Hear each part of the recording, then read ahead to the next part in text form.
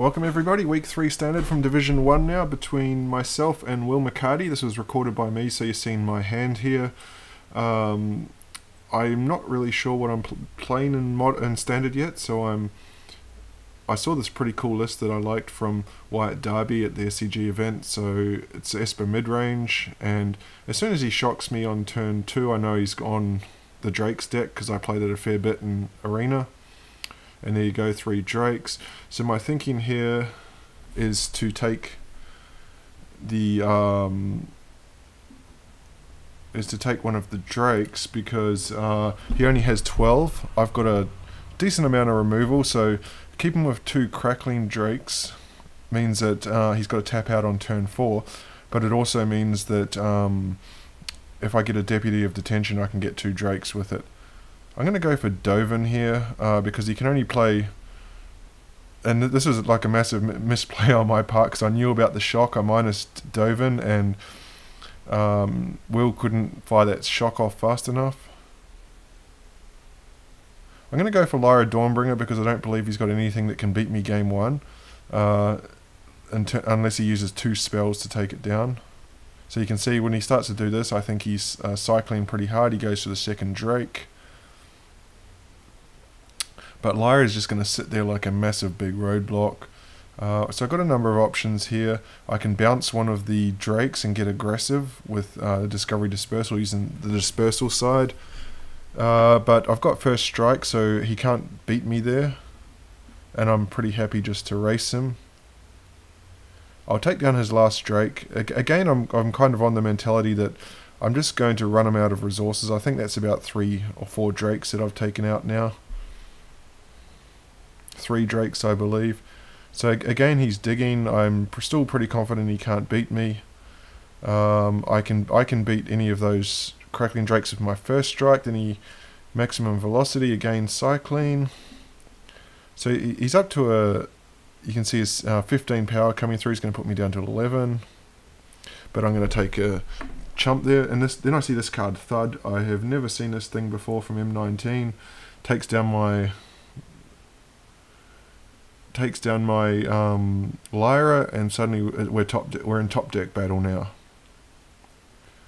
and he top decks another Drake. I'm just sort of going through his graveyard, seeing how many Drakes has he got. Uh, and th the problem with these Drakes that you can see is up to a 9 power there. You can They can pretty much kill you in a turn. Seraph of the Scales. This is a card that when I saw it, and even when I saw it on coverage sometimes, I thought this card is crap. It's a mythic. Um, costs about $10 and it just dies to Lightning Strike. I, would say Bolt, but we're not talking... Uh, modern. just dies to lightning striker, so I think this is absolute garbage. Uh, he's got um, that gives him trample, lava coil, and there's a problem with it. It's gone. I concede we're going to game two. I'm still pretty confident because I got an absolute ton of um, removal that I think he just will overrun him. As I was saying, Seraph of the Scales, the, the thing that I underestimated that I really discovered in this match is its death touch uh, and it's it's huge the ability to uh, use it as a blocker. Now, when the Drake's deck is cycling things like that on their turn with doing nothing else, I know that they don't. They're looking for something, so I play out the thief. I fully expect the thief to die, but I'm kind of um, buying myself time here because I want him to tap out to use the mortify. Um, again, this is card advantage here Basilica Bellhaunt. I don't really care in this matchup with the life gain, but um, make him discard a card. Uh, and I thought that was a pretty aggressive use of a lava coil, so it kind of suggested to me he's a bit desperate and searching for something. Fires off a shock and response, that was a bit odd considering he'd seen Thief of Sanity and, and my deck has quite a lot of 2-powered creatures. This is perfect for me, the Crackling Drake comes down so I can use my Eldest Reborn next turn. I think Eldest Reborn off memory is just a one of out the sideboard. So I can potentially get back my, um, or I can't get my thief. It's, it was exiled. so he, he's kind of in this position where he just has to keep dropping drakes. You can see he's uh, five. Uh, the thing with this deck is it has to tap out for the drake. So finally, I find a hero of precinct one. That's kind of what this card is built around. I thought I thought a lot about this card in terms of I mean, sorry, this deck in terms of what it does and why why play this? Why not play Grixis, for example? Obviously, it's mortify and stuff, but Hero Precinct One seems to be the key card in this deck. It's what synergizes everything else together. So you can see I've got the Thief in the graveyard. He still keeps tapping out. I know he's got the dive downs and the spell pierce. Uh, hostage taker, I'm kind of super greedy. I don't want to um, cast it until I can get something with it. So now I'm thinking, what can I get? I go for Thief because I think it's going to probably die, but I kind of need my Seraph of the Scales to survive. I swing the Seraph in because I can make it a two-turn clock.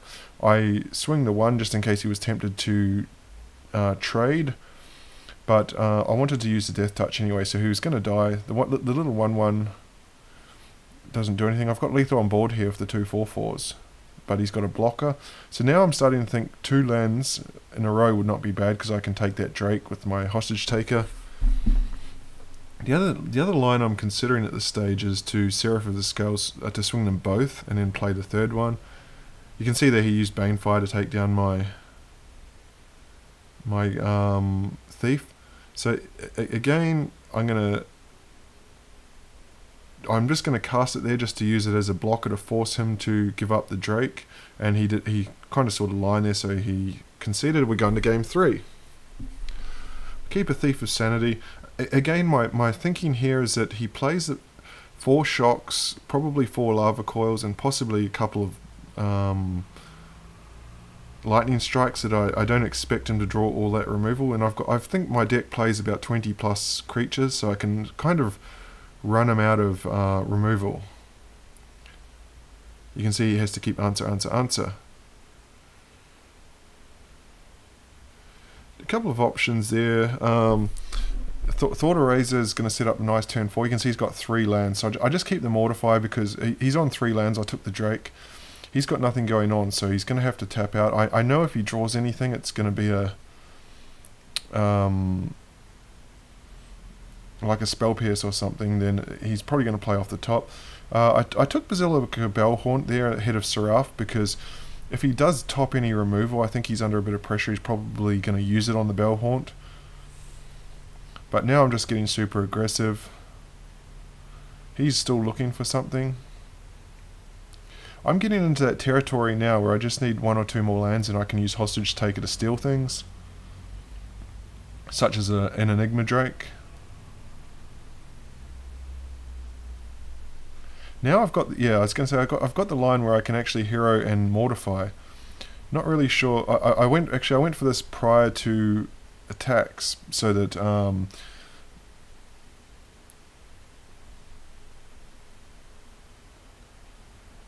Actually, I'm not sure. Uh, so that I could try and clear the way and push through 7, but it didn't work.